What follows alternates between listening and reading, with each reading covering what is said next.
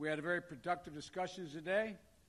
When nations as close as ours get together, we always look for operations and opportunities to do more.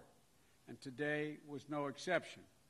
So, Yoshi, you'll probably be seeing a lot more of me in the future. And today, Prime Minister Suga and I affirmed our ironclad support for U.S. Japanese alliance and for our shared security. We committed to working together take on the challenges from China and on issues like the East China Sea, the South China Sea, as well as North Korea to ensure a future of a free and open Indo Pacific.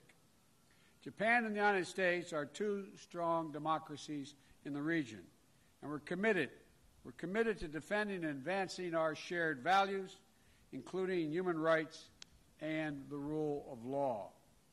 We're going to work together to prove that democracies can still compete and win in the 21st century. We can deliver for our people in the face of a rapidly changing world.